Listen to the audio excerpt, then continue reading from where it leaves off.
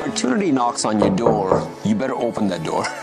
Hi, I'm Eddie Oberoi, hanging out with my partner Amrit Singh. We're so excited about this beautiful listing we have here in Brentwood. Now, check this out almost five and a half acres with a beautiful home which is already here, about 5,000 square feet. And you can build multiple homes here. What do you think? Now, Eddie, I think there's an awesome opportunity in yeah. the heart of Brentwood. Mm-hmm. You can build up to from 10 to 15 luxury homes. That's right. It's a great opportunity. Can't wait to show you the whole lot. Let's take a tour.